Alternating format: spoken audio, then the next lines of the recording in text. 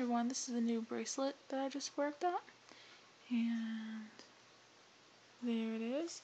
And I have to go buy a rhinestone button to sew on there. And I'm going to try to get some more different color threads, but it's hard to find um, this kind of thicker version of cotton in different colors. But I'm going to work on it. Maybe try to find like a red or something.